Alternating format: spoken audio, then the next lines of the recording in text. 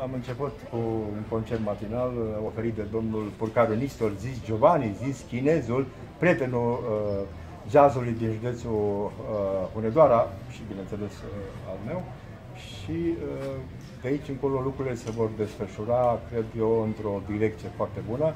Pregătirile sunt uh, 80% finalizate, mă refer la amplasamentul aici în uh, în poziție în platou și pe scenă, bineînțeles, așa că uh, o să mai transmitem uh, momente din acestea uh, live pentru a vă ține la curent cu ce se întâmplă la Deba Jazz Fest 2022, aici în Parcul Cetății. Vreau să vă anunț că de la ora 19 încep concertele mari pe scenă, așa că vă așteptăm.